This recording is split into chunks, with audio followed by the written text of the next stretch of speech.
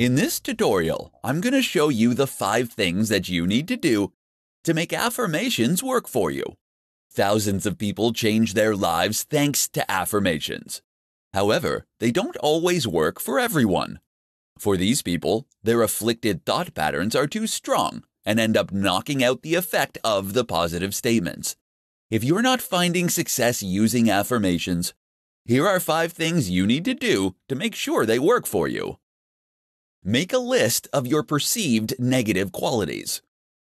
Take some time to make a list of what you've always believed to be your negative qualities. You want to be sure to include any other criticisms that others may have made about you. You want to try to avoid judging whether they are accurate because everybody has flaws.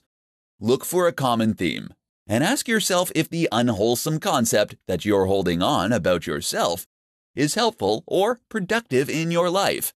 If you determine that it isn't, then think about what would be useful. Write an affirmation on the positive aspect of your self judgment. If you believe yourself to be unworthy, you can create a positive affirmation to help you change this negative thinking around. You want to make sure you use persuasive words to help beef up your statement. After you've written the affirmation, ask a close friend to read it and make any suggestions on how you could make it stronger. Speak the affirmation three times a day. If you want your affirmations to work, then you have to speak them out loud and send them into the universe. You should be repeating your affirmations out loud for five minutes, three times a day, in the morning, midday, and in the evening. The best time to do this is when you're getting ready in the morning, so that you can look in the mirror at yourself as you repeat the statement. Anchor the affirmation in your body. As you repeat your affirmation, Place your hands on the place on your body that felt uncomfortable when you wrote about your perceived negative qualities.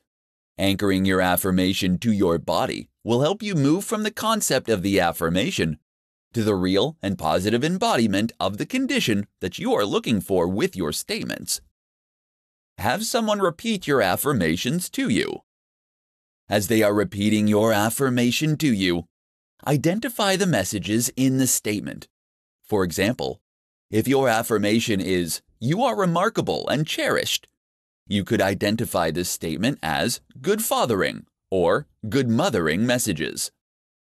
Affirmations are a powerful tool that you can use to help you change your state of mind and manifest the changes in your life that you desire. By keeping these five things in mind, you can make sure that your affirmations work for you. For more free educational content, visit learnforfree.biz. Content produced and distributed by AllSuperInfo.